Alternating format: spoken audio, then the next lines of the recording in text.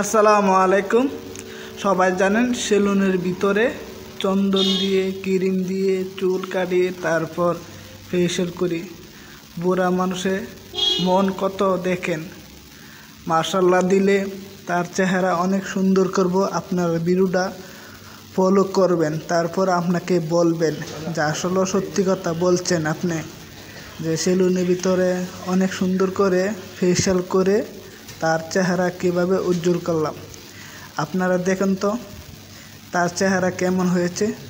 Comment video জানাই দিবেন।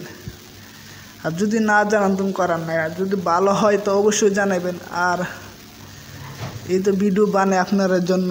চেহারা উজ্জ্বল কীভাবে করতে হয়, চেহারা কীভাবে ভালো লাগবেন, মানুষের মন যদি ভালো থাকে, তাই তো মূল দেখবেন।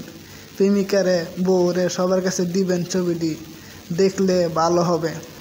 আপনারা তো চান একদিন মানুষের মন কত অসহায় হয়ে জায়গা। দূরপ্রবাসীরা আসলে টাকা পয়সা চিন্তা করে। তো ওমানি চিন্তা করে না, ছেলেমেয়ের জন্য চিন্তা করে না, আমরা প্রবাসীরা ছেলেমেয়ের জন্য